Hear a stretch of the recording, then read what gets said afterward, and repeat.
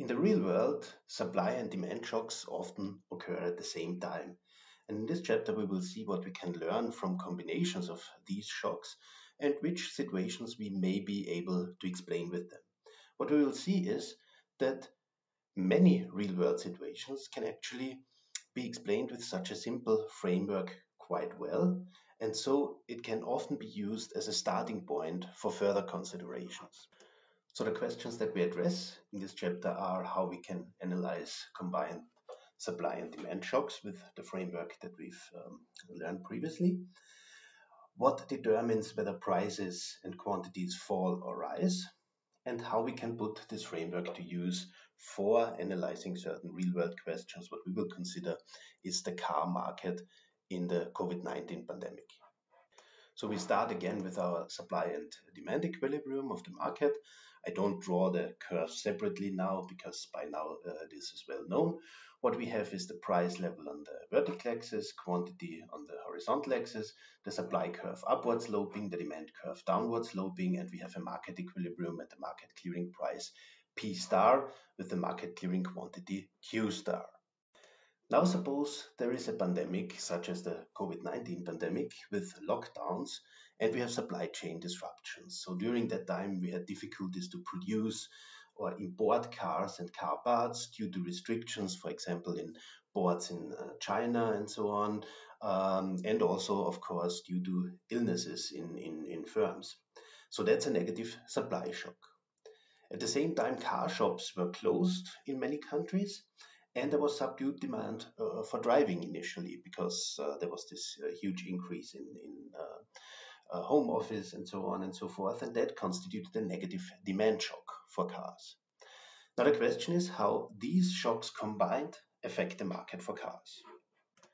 So first I draw the supply shock here. So this is a leftward shift of the supply curve so that at the new market equilibrium with the old demand curve, we would have a higher price level and a lower quantity traded in equilibrium. However, the supply shock is not the only thing that happens. We also have a negative demand shock. So now two fundamentally different situations can occur with respect to the demand shock.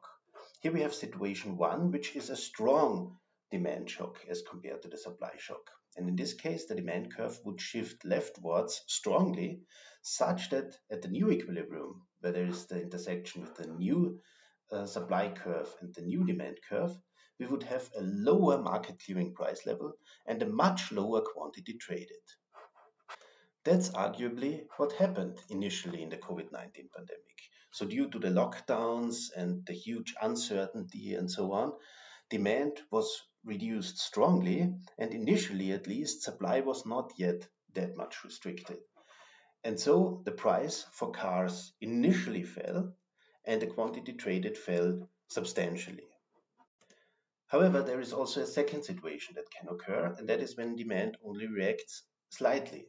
So the leftward shift of the demand curve would be less pronounced and we would end up with an equilibrium where the market clearing price is higher than the initial market clearing price in the pre-COVID-19 equilibrium, but the quantity traded is lower.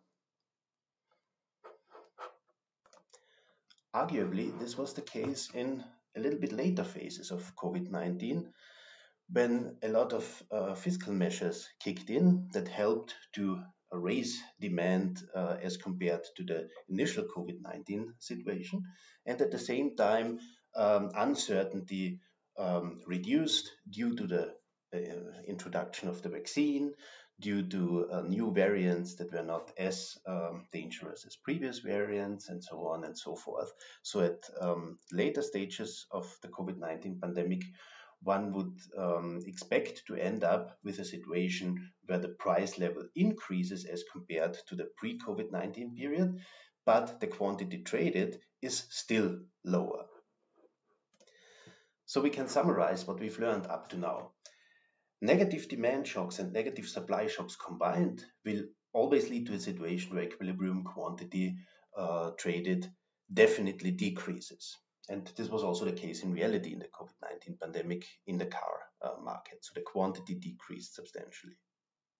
The effect on the equilibrium price, however, depends on the strength uh, on the relative strength of the different uh, shocks. If the demand shock is severe and the supply shock comparatively moderate, prices will fall. And if it's the opposite, demand shocks are moderate and supply shocks severe, then prices will rise.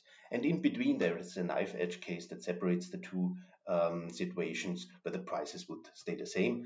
But this is just a very special case that in reality um, is very unlikely to occur. Now we can ask ourselves, however, what happens if we have a negative supply shock but a positive demand shock. And there are many of these combinations possible that we can analyze in the framework that we have here. But this particular case with a positive demand shock again fits the story of uh, the pandemic. So, for, for example, when lockdowns end and governments hand out uh, uh, cash and so on and uh, do expansionary fiscal policy, as many governments did uh, during and after the pandemic, this will likely lead to a rise in demand. And in addition, there are catch up effects. Um, in terms of consumption, where people uh, that were forced to stay at home during lockdowns um, had uh, money to spend actually on uh, certain goods. So there was a certain level of catch up consumption going on, and therefore also there was um, demand um, for cars that was not satisfied during the times of the lockdowns. So that may lead to a situation where demand expands beyond the initial uh, level, uh, so beyond the initial demand curve that we had pre COVID 19. And now we look at what happens uh, when this is the case in the framework that we've uh, seen up to now. So this would imply then that we have a leftward shift in the supply curve, that's the negative supply shock, but at the same time we get a positive demand shock, so the demand curve shifts to the right. Again, there could be two situations, so the demand curve could shift strongly, that's left for an exercise, or it could shift a little bit uh, weaker as it is done here, where we would then observe still a decrease in the uh, equilibrium volume traded, but a strong increase in the equilibrium price.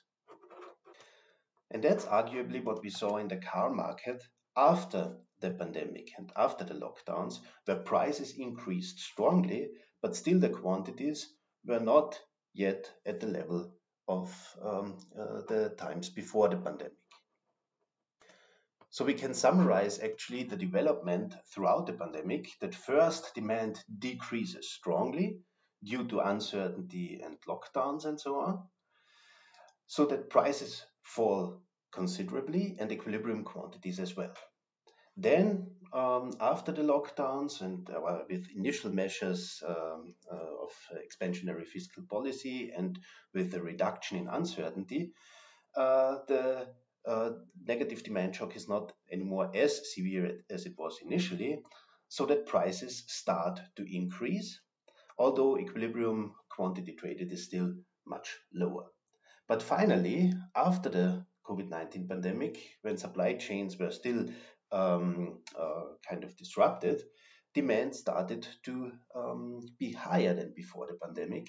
And in this case, quantities could still decrease, but the price level would be much higher than before the pandemic. And that's what we saw this inflation push after the um, uh, pandemic. And in terms of the evolution of our graph, we would therefore have initially a strong leftward shift in the demand curve with lower prices and a much lower quantity. Then uh, later uh, only a smaller reduction in demand as compared to the pre-COVID-19 uh, times, such that quantity is still lower, but the price level starts to increase above the level before the pandemic. And finally, an expansion in demand that still meets um, restricted supply and uh, supply chain disruptions, where then the quantity is, not, uh, is only slightly lower than before the pandemic and um, the price uh, level is much higher already.